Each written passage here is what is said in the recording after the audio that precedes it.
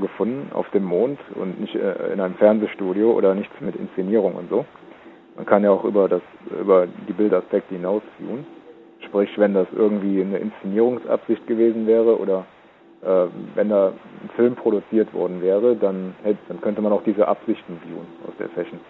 Ja, das, das habe ich ja vorher gemeint mit, ihr könnt ja viel mehr herausfinden, als das Bild äh, jetzt einem nur sagt, denn ja, ja, wir kennen alle die Aufnahmen vom Mond, aber natürlich könnten die gefälscht sein, ja, also wie soll man das den Gegenbeweis antreten, aber ihr sagt, ihr wart eben dann dort, unter Anführungszeichen, und äh, ihr könnt eben dann noch viel mehr Informationen von diesem Ort herholen und daher, das meinte ich vorher mit, eigentlich sein Remote-Führer, den kann man nicht so leicht täuschen dann, ne? Genau, also es ist wesentlich mehr als halt die äh, optischen Eindrücke. Es sind sozusagen alle Sinneseindrücke, die man halt äh, so hat. Äh, sehen, hören, riechen, schmecken, fühlen.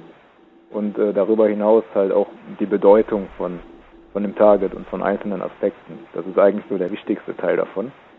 Ähm, weil man kann jetzt natürlich äh, Farben und Oberflächen und Strukturen von, von, sagen wir mal, wieder die Freiheitsstatue, könnte man davon beschreiben ähm, irgendwie äh, grau-blauer Beton und so weiter. Äh, man könnte auch den Aufbau beschreiben, aber äh, viel aufschlussreicher sind dann ja eigentlich die Eigenschaften davon. Zum Beispiel, dass es ein nationales Denkmal ist, äh, ja, dass es solche Eigenschaften halt. Und bei dem Mond äh, ist jetzt folgendermaßen, da gibt es halt Daten drüber. Ähm, die Mondlandung war wohl echt, ist herausgekommen und äh, UFOs hat man dort auch nicht gesehen also zumindest nicht bei einer dieser Mondlandungen, die untersucht wurde.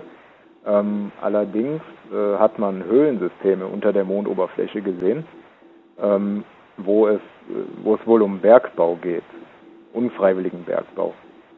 Also man hat, äh, man hat primitive Wohnstätten gesehen. Ähm, dort waren Menschen, die wohl dort äh, ja nicht freiwillig arbeiten, aber die auch keinen richtigen Willen haben. Also eher, wie soll man sagen, ein zombiehaftes Bewusstsein ohne richtigen Willen. Und ähm, dass es dort halt auch Aufseher gibt. Äh, und ja, also die Essenz ist, dass dort äh, äh, unter Zwang Bergbau betrieben wird. Ähm, man kann aber nicht genau okay. sagen, wann das ist. Also man kann nicht sagen, ob das in der Vergangenheit ist, man kann nicht sagen, ob das jetzt ist oder in der Zukunft. Das ist halt immer schwierig mit diesen Zeitaspekten. Da gab es doch einmal unlängst, ich glaube, von Sohn David Bowie ist keine Ahnung als Regisseur. Da gab es auch einen Film über den Mars, wo so ein Clown einsam und allein diese Bergbaustation bedient. Äh, kennt ihr den zufällig? Äh, nein, leider nicht. Ja, mir fällt der Titel jetzt nicht ein. Ich habe ihn gerade vor einem Jahr ungefähr im Kino gesehen. Aber okay, äh, sehr interessant. Also das hat mich jetzt mich ziemlich daran erinnert. Es war eben der Mars und nicht der Mond, aber also ähm, aber als diese wer hat eigentlich jetzt dieses Viewing durchgeführt von der Mondlandung? Ähm, also das war, äh, das war der Autor Frank Köstler äh, und sein Team. Also der hat auch ein Buch darüber veröffentlicht. Äh, das heißt Verdeckte Ziele. Da geht es halt äh, insbesondere um solche Mystery Targets äh, und um Fragen, ja, wie man Informationen aus der Matrix sozusagen abruft. Und ähm, aber auch Ingo Swan hat, glaube ich, ähnliche Dinge beschrieben. In den 70er Jahren schon. Also dass dort eine Art äh, ja, Zwangsarbeit mit Bergbau stattfindet. Es gibt oder ein, oder stattfinden wird. Ja, es gibt ein Buch Geheimsache Mond, ist der deutsche Titel. Und äh, ja, das ist recht spannend, wenn auch, es wird dann immer wirrer. Kennt ihr das zufällig? Ist von Ingo Swan. Ähm, ich glaube nicht, aber das könnte es, ja, das könnte es durchaus sein, wo das beschrieben wurde. Ja, ja, das, so, das ist das Buch definitiv.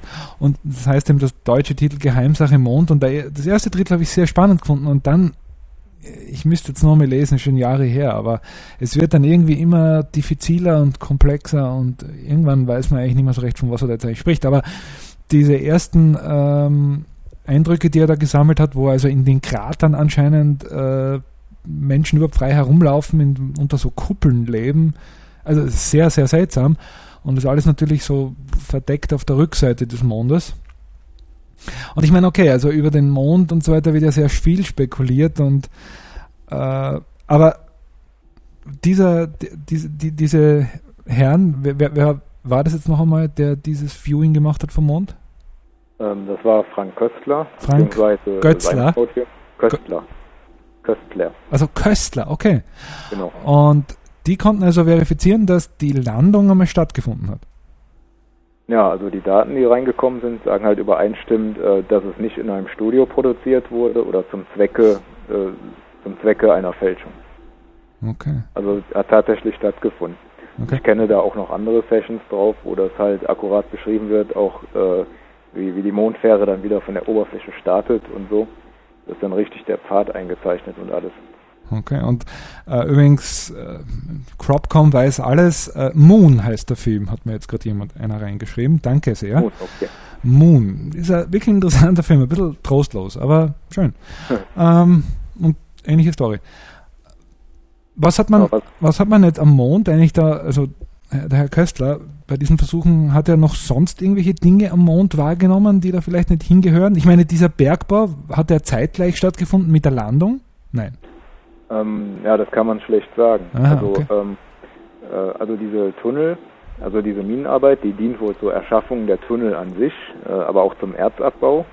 Und äh, die Aufseher dort äh, scheinen halt irgendwelche Wesen zu sein, die aber irgendwie phasenverschoben sind oder nur halb physisch. Also die sind nur halb da. Scheinen aber auch eine Art waffenähnliche Gegenstände in der Hand gehabt zu haben. Und äh, die Minenarbeiter selbst ähm, die wurden halt so beschrieben, dass sie kaum einen eigenen Willen hatten und fast emotionslos sind. Aber die konnten interessanterweise die Viewer bemerken. Also die haben gemerkt, dass die Viewer reingeschaut haben. Das ist so ein Phänomen, das tritt auch bei äh, Alien Targets oft auf, auf. Also dass die Besatzungen von UFOs äh, die Viewer auch zu bemerken scheinen. Ja, das finde ich äußerst interessant, dass man also da tatsächlich offenbar in einem ja, in, einer, in, einer, in einer Physis, Physis sich auch befindet, weil diese, diese, ich meine, wie kann es uns passieren, dass, wenn ich mich dort quasi nur mit meinem Bewusstsein hinbegebe, dass der mich dann wahrnimmt? Das ist wirklich eine interessante Sache eigentlich. Also, ja, da, da kann man eigentlich nur schlussfolgern, dass die äh, halt mental wesentlich weiter sind, also mit mentalen Techniken und Wahrnehmungen als wir ja. Äh, dass sie auch diese geistigen Präsenzen ganz einfach wahrnehmen können. Ja, dass das vor allem sich in einem Raum abspielt, der über unseren normal wahrnehmbaren hinausgeht und dass der aber von diesen Wesen eben, wie du richtig sagst, sehr wohl wirklich äh, genau wahrgenommen wird. Und wenn sich da jemand. Genau. Aha, das ist wirklich sehr, und, sehr äh, strange. Was man dazu sagen muss, also die meisten Remote-Viewing-Begegnungen ähm, mit Aliens, wenn man es jetzt so nennen möchte, äh, also die meisten fühlen sich wohl eher genervt oder haben kein Interesse am Menschen oder ja, wenn sie freundlich sind, setzen sie den Viewer quasi vor die Tür, wenn man es so ausdrücken möchte. Okay. Das heißt, Wie machen sie das? Was ja, passiert da? Äh, einfach, sie sind einfach mental stärker als der Viewer und schicken ihn quasi zurück oder, oder schmeißen ihn auf den Target. als wenn sie ihn quasi aus einen eigenen Haus rausschmeißen möchten. Das, das ist interessant auch, dass, es, dass das möglich ja. ist. Also man kann sich, man kann sich gegen Remote Viewing sehr wohl auch schützen, wenn man die Fähigkeit besitzt und weit genug in diese Räume eintauchen und sich dort äh, frei bewegen kann. Ja, und ähm, es gibt es gibt halt auch ein paar ungemütliche Fälle. Äh, zum Beispiel, dass Viewer von äh, Aliens auch äh, mental festgehalten wurden. Also dass man den Viewer quasi kaum noch äh, aus der Session rausbekommen hat, der da quasi wie in Trance dort saß, äh, soll es gegeben haben. Und, Davon äh, habe ich noch nie gehört, interessant, ja. Ja, also es soll da schon ein paar recht dramatische Szenen gegeben haben. Und ähm, das muss man halt einfach so sagen, dass die wohl, also die da oben rumfliegen, dass die wohl mental in der Regel stärker sind als Menschen. Mit die da oben rumfliegen meinst du? Ja, die physischen Aliens, die Raumschiffe brauchen, sage ich mal. Okay. Also sind, äh, sind, nicht, äh, sind nicht alle schlecht oder so. Also diese Bewertung kann man eh nicht machen, aber äh, sie sind, sie sind, also es gibt ganz, am seltensten sind halt Beschreibungen, dass sie neugierig sind oder neugierig auf uns wären. Also die wundern sich meist nur, dass, dass wir dort per Remote Viewing irgendwie reingucken können. Aha. Äh, jemand schreibt im Chat, äh, bitte alle das Bilderberg-Treffen viewen. Hat das schon mal jemand gemacht? Ich glaube, es war angesprochen und es war auch eine Idee von mir, aber das Projekt hat es niemals gegeben. Das wäre interessant. Aber äh, ich habe es schon von anderen gehört, also aus einem anderen Jahr. Und ähm, also wenn jetzt zum Beispiel gefragt wird, was kann man da überhaupt viewen, das ist meist die Frage, die da kommt. Also man soll durchaus Inhalte viewen können. Also man kann jetzt nicht äh, dialoggetreu äh, aufschreiben, was die dort sagen, aber man kann die Inhalte und Themen viewen. Das ist aber äh, auch sehr komplex und ein sehr großes Projekt. Weil man das glaube ich, ja. ja. Ich bin jetzt übrigens schon seit einer Zeit lang mit Skype online gegangen. Also wenn irgendjemand an euch beide direkt eine Frage stellen möchte, irgendjemand, der jetzt gerade zuhört, auf der Startseite ganz unten unterm Ankünder, also wo das Bild ist und ganz drunter, äh, unter dem Beschreibungstext findet sich eh das Skype-Link, Skype-Name CropFM und einfach hier durchklingeln. Ich heb dann gleich ab und der Anrufer oder die Anruferin muss dann ein bisschen Geduld haben, bis der, äh, bis der ausgesprochen worden ist, also der, der, der Satz fertig gesprochen wurde und dann ähm, schalte ich direkt on air, also Skype-Name CropFM und dann kann man sich direkt, so wie es Wingman damals getan hat, an dieser Sendung beteiligen, auch audiomäßig. Ähm, ja, das ist, das ist schon da wird es dann natürlich spannend, wenn man also jetzt tatsächliche Targets, die jetzt auch irgendwo jetzt große Relevanz haben, also wenn da irgendwelche äh, Finanzbosse und äh, Wirtschaftsbosse sich treffen und, und quasi den nächsten Jahresplan aufstellen, dann ist das schon recht interessant, weil man da im Vorhinein Informationen drüber hätte, ne? wenn das dann genau. funktioniert. Man kann ähm, per Remote Viewing ja nicht nur Bilder und Orte aufsuchen, sondern auch ähm, zum Beispiel Personen analysieren, sprich auch Emotionen und Gedanken viewen, das ist auch möglich. Okay. Das ist natürlich, ich meine, für die Börsen äh, hat das natürlich unglaubliche Auswirkungen, ne? wenn man äh, Börsengeschäft ist ja was sehr Emotionales. Ne? Man könnte zum Beispiel sagen, wie fühlen sich gerade die Anleger von jenem,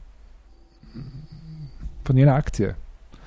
Und dann kann man vielleicht Vorhersagen auf den Kurs treffen, aber okay, das sind immer ganz viele Faktoren im Spiel. Aber Gut, dann müsste man vielleicht den zukünftigen äh, Zeitpunkten nennen. Ja.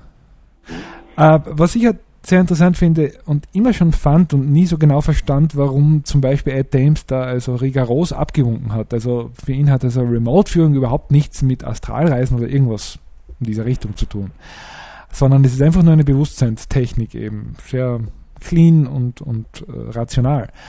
Aber wie kann es, also wenn das überhaupt nichts mit einer außerkörperlichen Erfahrung zu tun hat, also mit einem Zustand, in dem man sein Bewusstsein quasi vom Körper getrennt irgendwo anders hinbringen kann, was ja auch bei einer Astralreise, bei einer sogenannten passiert, offenbar.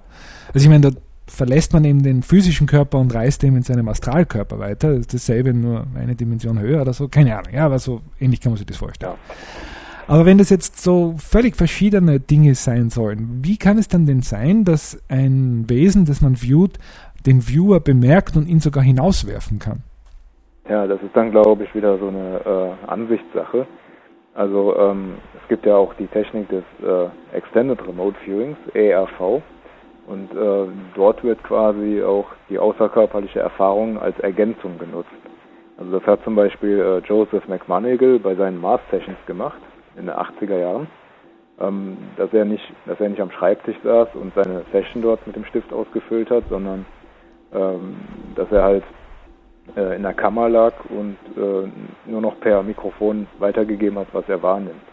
Der war quasi außerkörperlich schon in einem Target. Also der, es scheint schon durchaus ein fließender Übergang zu sein. Also äh, von, von der Präsenz, dass man jetzt an einem Tisch sitzt und sein Protokoll ausfüllt, bis zur Außerkörperlichkeit, dass zumindest ein Teil des Bewusstseins äh, durchaus ziemlich weit rausgeht. Da kann, glaube ich, Christian was zu sagen. Er hatte nämlich da schon mehrmals das Gefühl, dass er wieder in den Körper zurück